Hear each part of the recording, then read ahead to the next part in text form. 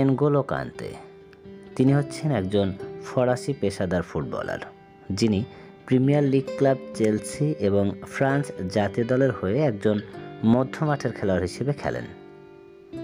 N'Golo কান্তে জন্মগ্রহণ করেন উনিশশো একানব্বই সালের উনত্রিশ মার্চ, ফ্রান্সের প্যারিসে। তার উচ্চতা পাঁচ ফিট ছয় ইঞ্চি। এনগোলো কান্তে ইউএস ব্লগনের হয়ে খেলার মাধ্যমে পেশাদার কেরিয়ার শুরু করেন এবং পরবর্তীতে দুই মৌসুমের জন্য স্তাদ মাল আর্ভ কানের লিগ একে খেলেন। দু হাজার পনেরো সালে তিনি প্রিমিয়ার লিগ ক্লাব লেস্টার সিটিতে ফাইভ পয়েন্ট সিক্স মিলিয়ন ইউরোর বিনিময়ে এক চুক্তিতে স্বাক্ষর করেন। যোগদানের পর থেকেই তিনি ক্লাবটির একজন অখণ্ড খেলোয়াড়ে পরিণত হন।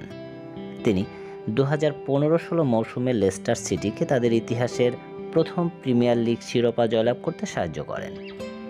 তিনি উক্ত ক্লাবের হয়ে শুধুমাত্র একটি মৌসুম অতিবাহিত করেন। এর পরবর্তী বছরে তিনি প্রিমিয়ার লিগের এক ক্লাব চেলসিতে বত্রিশ মিলিয়ন ইউরোর বিনিময়ে যোগদান করেন।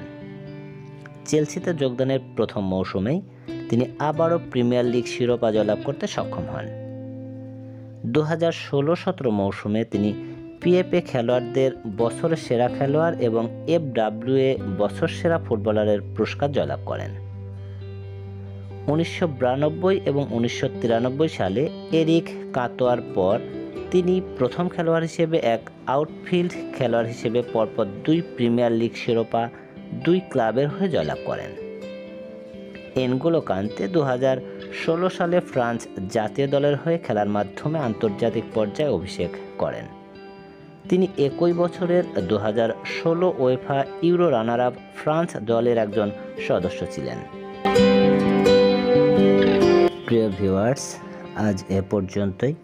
ভিডিওটি ভালো লাগলে ভিডিওটিতে একটি লাইক করবেন আর পরবর্তীতে এ ধরনের আরও ভিডিও পাওয়ার জন্য চ্যানেলটিকে সাবস্ক্রাইব করবেন।